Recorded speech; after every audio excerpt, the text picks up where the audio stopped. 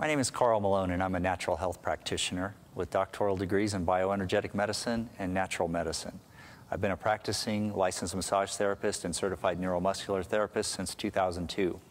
And in the last decade, I've tested a lot of different lasers, and there's a lot of great lasers out there. For my practice, one that works very well is the Quantumwave scalar laser. This laser is FDA approved as over the counter safe, which means that you can get these in the hands of your patients and clients, and they can use them at home. Not only will you get great results with this laser, you can help them help themselves. And I've been teaching self care using low level laser for several years to help patients and clients get their own laser and teach them exactly how to use it based on their condition. This is a great practice builder for you and also a great supplemental income.